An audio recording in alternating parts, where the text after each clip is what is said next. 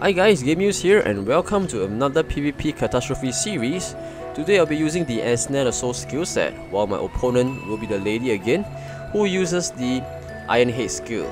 Yes, now I'm interested to know how to use the Ensnare the Soul skill set because I paid 30 bucks for it.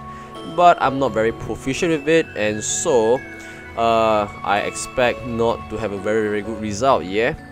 Now, she off the bat slams me and gives me the Argentina backbreaker. That's because you need distance to be close before you can unleash damage to your opponent. While I am trying to maintain distance so that I don't get damaged by her. And then I'm still able to deal damage to her, yeah?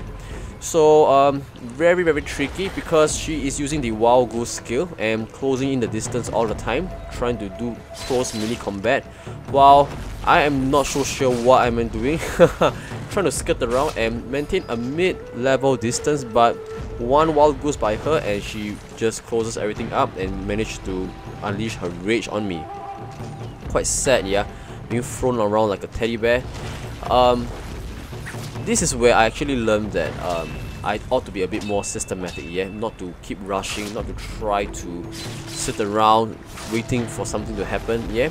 Part of my demise, I must say, is that I just keep sitting around allowing her to hit me. And um, I learned that I better not just be there, react to whatever she's doing, but have a system of doing combos and dealing damage, yeah? Something to think about for myself, and I guess if you have any pointers of using how, knowing, knowing how to use the the Soul skill set, do let me know, yeah?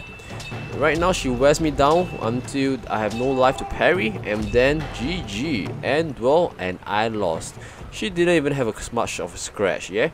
Look at her life and against mine, yeah. And so that's it. I think I better brush up my PvP skills often. Otherwise, this series is gonna be just me being promoted by other people. Yeah. And I'll see you guys next time for another video. Yeah.